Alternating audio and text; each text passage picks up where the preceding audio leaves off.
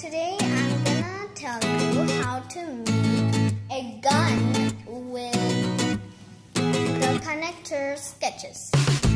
So the company is uh, Faber Castell. Connector Pen Faber Castell.